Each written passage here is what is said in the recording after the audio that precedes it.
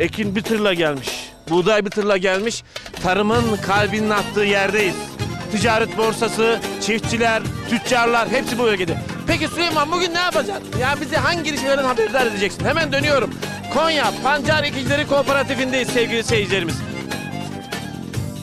Bu kooperatif neler yapıyor? Bana bir anlat. Beş dakikada anlat. Bak bu kooperatifin yapamayacağı bir iş yok. Kooperatiflerde başka ne iş yapılır? Şimdi hoş geldin. Hoş bulduk. Sen de hoş geldin. Ne yapmaya geldin? Para ödeyeceğim. Hep böyle alındığını, verildiğini çekerdik, hiç ödendiğini çekmezdik. Bu da bir ilk oldu. Çiftçi ödüyor efendim. Abi kaç lira var maşallah burada ya? Abi sizi gören kişi var ya içinde bir saniye bile çektiğe uğratmaz ha.